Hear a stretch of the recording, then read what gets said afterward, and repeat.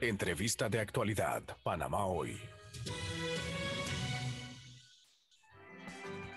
Bien, estamos de vuelta siendo las 6:49 minutos de la mañana y como dije antes de irnos a la pausa, me da mucho gusto pues tener esta mañana la conversación a continuación con Javier Yap Endara, quien es miembro de la coalición Vamos y pues eh, parte también de una interesante iniciativa que busca frenar esta situación de conflicto de intereses en eh, el servicio público. Javier, buen día, qué gusto saludarte a esta hora. Buenos días, Ricardo. Qué, gusto estar contigo y gracias por tenerme invitado el día de hoy. Oportuno hablar para entender de qué se trata, qué, qué compone esta, esta iniciativa que ya fue aprobada en tercer debate, pero que tiene todavía un recorrido que hacer para poder ser ley de la República y entrar en vigor. Sí, muchas gracias, Ricardo. Estamos hablando del proyecto de ley 329-329, eh, que busca, en resumidas, erradicar el conflicto de interés de la administración pública eh, este consideramos que es un proyecto de ley que es indispensable para poder combatir con la corrupción. Es necesario, eh, es un paso en la dirección correcta, ha sido un tremendo esfuerzo de, de las personas que lo estuvieron trabajando, muchas autoridades también involucradas. Eh, y bueno, la buena noticia es que fue aprobado el tercer debate y ahora está en, las, en, las, manos del presidente de la República decidir si lo sanciona o no. ojalá que así sea. Eh, para comentar un poco, porque incluye, es, una, es una, ley bastante eh, eh, transformadora, bastante innovadora, incluye bastantes puntos, ¿no? Pero quiero rescatar, o por lo menos comentarles uno de los más importantes. se crea una oficina especializada de conflicto de interés que estará bajo el paraguas de ANTAI, de la Autoridad de Transparencia y Acceso a la Información. Esta oficina especializada estará encargada de elaborar informes sobre, sobre conflictos de interés eh, estará eh, también encargada de velar porque los funcionarios públicos cumplan con una obligación que nace también en este proyecto de ley, que es la obligación de declarar eh, sus conflictos de interés. en este momento, sí, Javier, antes de avanzar en ese punto, sí. disculpa, Javier, antes de avanzar, en este momento no es obligatorio hacer esa declaración de, bienes o intereses. No okay. Eh, no, lo es. Eh, eh, esto es una declaración jurada de intereses, más que de bienes. Y hago la distinción porque, Ricardo, aquí vivimos en un país muy pequeño, en donde este, realmente es una aldea mucho sentido porque mucha gente se conoce y, los conflictos de interés están, están a la orden del día. ¿Y por qué esto es importante? Porque tenemos esta percepción de que en Panamá, y, creo que es muy justa, de que en Panamá reina el juega vivo, ¿Y por qué Reina juega vivo? Porque aquellos que, que, jugamos limpio, que juegan limpio, eh, usualmente se encuentran con situaciones en donde eh, pierden, en donde son desfavorecidos por el simple hecho de jugar por las reglas, mientras que aquellos que tienen eh, intereses, que, aquellos que tienen esas conexiones, que tienen esas influencias, son los que a, medida, a, gran medida son los que triunfan, son los que, los que logran esa ventaja. Y eso, así no es como se construye el país, así no debe eh, avanzar un país y, realmente eso crea mucha más desigualdad eh, a la que ya se tiene hoy en día. Entonces, ¿qué es lo que se busca? Se busca, entre varias cosas, que los funcionarios públicos de altos cargos tengan que presentar un informe público de conflicto de intereses. ¿Esto qué significa? Que estas personas deben declarar con quiénes, con quiénes tienen, pueden tener conflictos de interés. Entonces, la oficina especializada en conflicto de intereses va a velar porque esos informes se presenten, porque sean verídicos, con sanciones reales hasta la suspensión y remoción del cargo de las personas que, que se nieguen o, presenten información incorrecta. Eh, y también, por otro lado, esa es una parte, porque una cosa es conocer la información, otra forma es esa información para qué va a servir. Y es muy importante porque va a funcionar con las, con las contrataciones públicas. Aquí el problema eh, grande que, que, todos conocemos es que las contrataciones públicas eh, muchas veces son sospechosas eh, entonces, lo que se busca esta ley es que se limite las contrataciones públicas en la medida que haya conflicto de interés entre las empresas, empresas participantes y las personas que trabajan en, en, la entidad gubernamental que está haciendo esa contratación pública. Sé que esto suena muy soñador, pero hay algo que tiene que aspirar, no tiene que aspirar a un país en donde los conflictos de intereses presenten limitantes, en donde no haya conflicto de interés. Eh, y, y, y, Ricardo, disculpa que esto, vale un poco de monólogo, pero es importante y he repetido mucho la, frase conflicto de interés. ¿Qué significa esto? y, para mucha gente de repente no, está familiarizado con este concepto. El concepto de conflicto de interés es estar conflicto, eh, tener un conflicto, valga la redundancia, con el interés de un servidor público. ¿Cuál es el interés o cuál debe ser el interés de un servidor público? El interés de un servidor público es servir a la nación, servir al público, servir a la sociedad panameña y no servirse a sí mismo o a los intereses de sus allegados, de sus familiares, de sus amistades, de sus ex empleadores.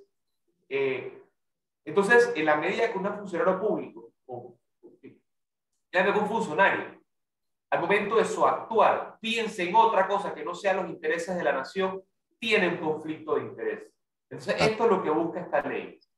Más allá de, un sueño idealista, creo que es una, es una constante en la preocupación del panameño, que, los dineros públicos se administren de forma responsable y no se desvíen hacia donde no debe ser.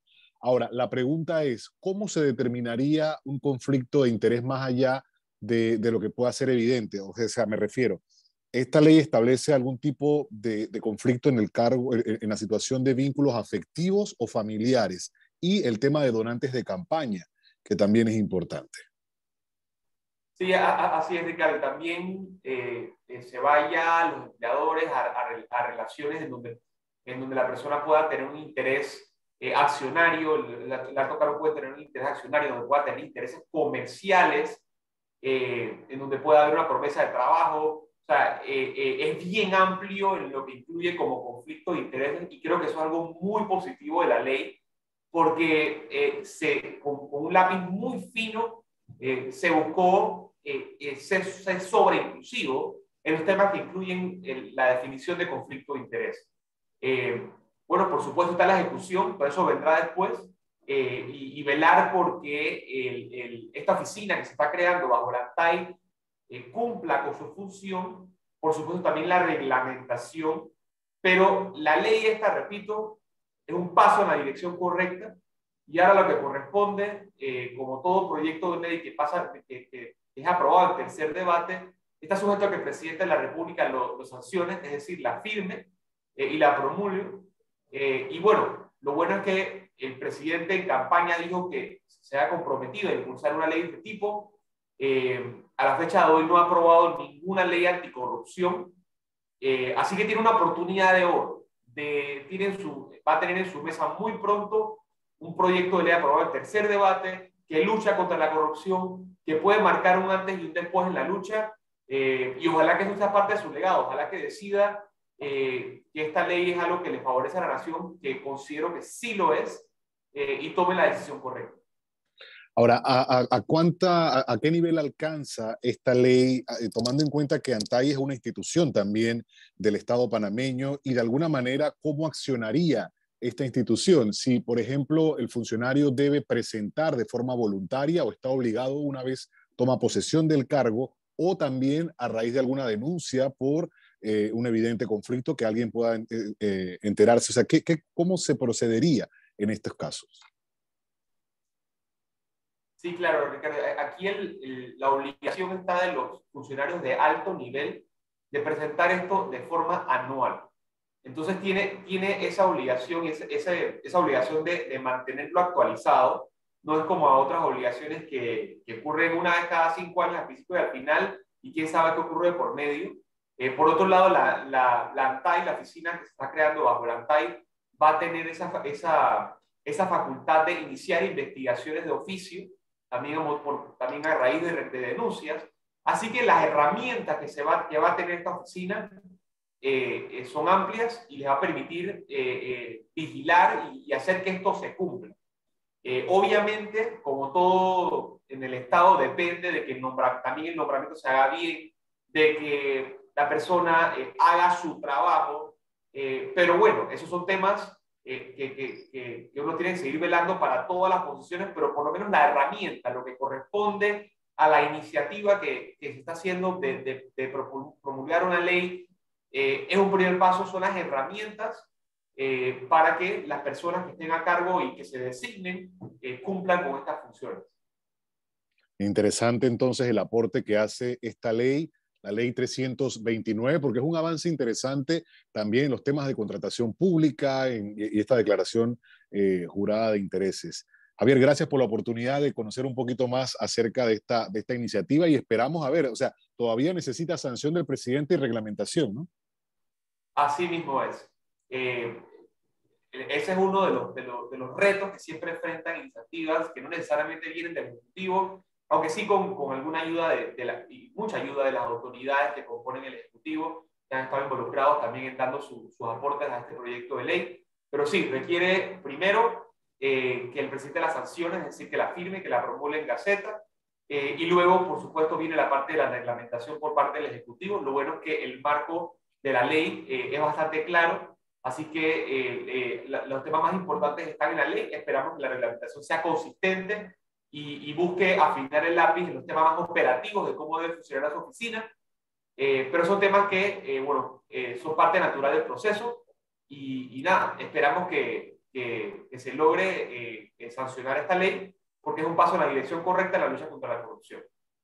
Javier, gracias por la oportunidad de profundizar en este tema, de hacer una docencia importante también a la audiencia sobre lo que compete a esta ley y lo que estaría avanzando, aportando al país en materia de transparencia. Buen día, muchas gracias. Buen día, muchas gracias. Avanzamos siete, un minutos de la mañana.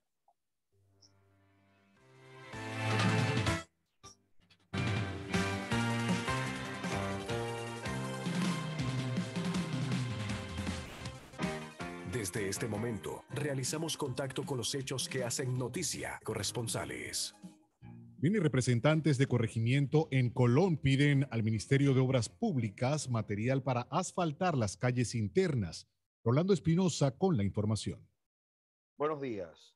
Los representantes de corregimiento del distrito de Colón han manifestado su preocupación e interés para que el Ministerio de Obras Públicas le permita asfaltar las comunidades, ya que al interno de cada corregimiento las vías están en mal estado.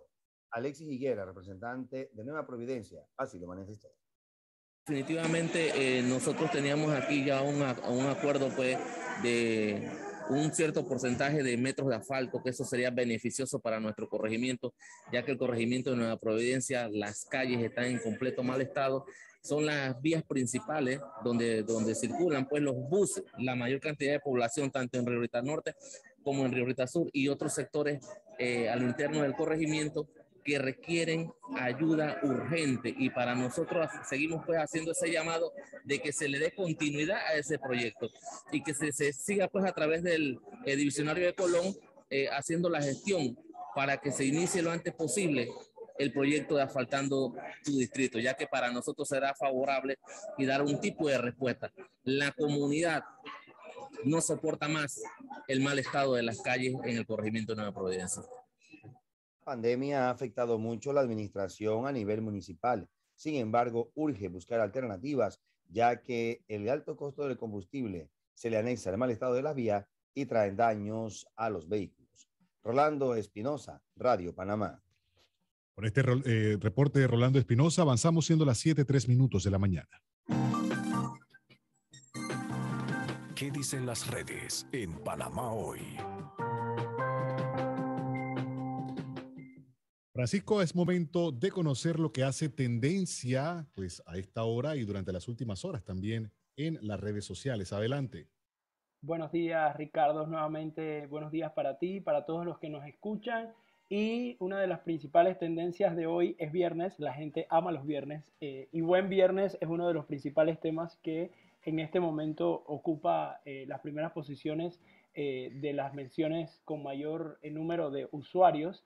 Hoy es el Día del Animal y eso también se ha pegado mucho a, a, estos mensajes de buen viernes y feliz viernes en relación a las personas que lógicamente tienen alguna mascota y celebran este día. Hoy en redes sociales también en Panamá uno de los principales temas que se habla es Bitcoin producto de eh, la aprobación que se dio ayer sobre el proyecto de ley 697 que regula la comercialización y el uso de las criptomonedas en el país centroamericano. Y aunque la ley eh, habla de criptomonedas, no solo de Bitcoin, eh, lógicamente Bitcoin es la criptomoneda más popular, fue la primera y por ende es, el, tema principal con el que las personas han posicionado este, e, esta aprobación de la ley. Importante, quisiera detallarles sobre esto, eh, que la norma eh, lógicamente debe ser refrendada por el Ejecutivo para su entrada en vigor, pero sin duda abre la puerta eh, al, al, Bitcoin o BTS y a las criptomonedas y propone darle estabilidad jurídica a estos elementos digitales y deja explícitamente claro que su uso como medio de pago en Panamá es opcional, indicó la Asamblea Nacional en un comunicado, a diferencia de países como El Salvador, eh, que lógicamente cuando aprobó una regulación similar lo hizo eh, de manera obligatoria. El diputado independiente y uno de los promotores del proyecto de ley, que justo ha estado en Radio Panamá hace unos días, Gabriel Silva, aseguró que la iniciativa va a ayudar a que Panamá se vaya consolidando como un hub de innovación y tecnología en América Latina. Eh, el diputado afirmó también que entre los objetivos de la ley está darle claridad jurídica al uso opcional de las criptomonedas en el país crear licencias para facilitar la inversión extranjera y local que trabajan en el sector de los criptoactivos y eh, que la tecnología blockchain sea utilizada por el gobierno para tener procesos más rápidos, eficientes y transparentes. También promover la inclusión financiera